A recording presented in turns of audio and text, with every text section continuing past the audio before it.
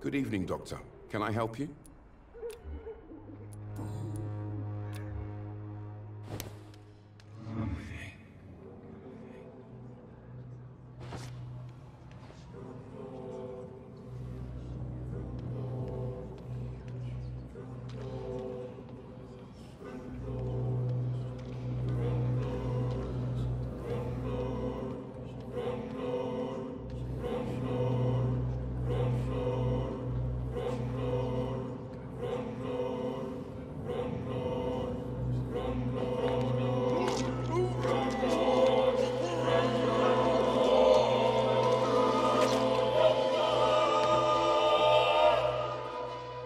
Christina.